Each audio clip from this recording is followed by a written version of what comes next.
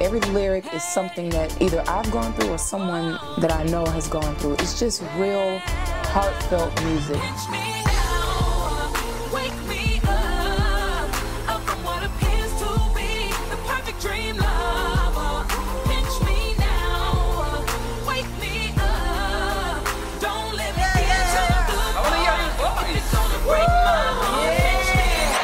My first single is called Pinch Me Now, and it's basically a song about a girl that's in the beginning stages of a relationship that just seems like it might be, he might be the one, but she's had so many problems in the past, and she's just like, if you're not gonna be that, if you're not gonna be everything that I need, then just pinch me now and wake me up.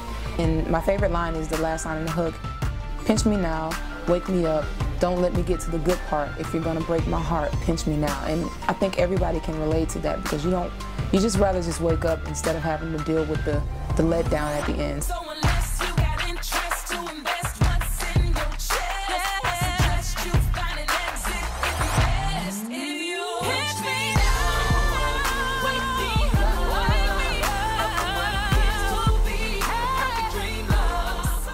I'm influenced by so many different styles of music.